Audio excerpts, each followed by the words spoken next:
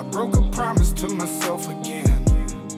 I don't know why I'm so vulnerable. They try to help, but I won't let them in. I guess rock bottom's where I'm